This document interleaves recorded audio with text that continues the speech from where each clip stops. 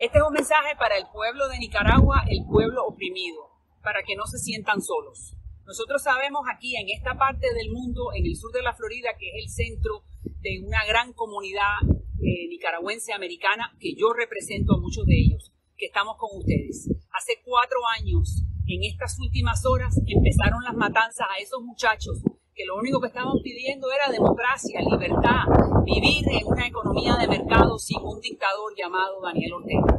Pero sabemos que aunque ahora las cosas luzcan oscuras, siempre hay una esperanza, porque el pueblo nicaragüense es un pueblo arrecho, que siempre ha peleado por su libertad.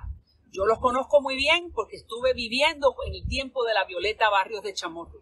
Por eso los admiro, les envío este mensaje de solidaridad y que no vayan a pensar que la comunidad internacional y que los, y que los, los, eh, políticos en Washington se han olvidado de ustedes. No, al contrario, los servidores públicos, los que servimos a la comunidad nicaragüense en el sur de la Florida, los recordamos a ustedes muy bien.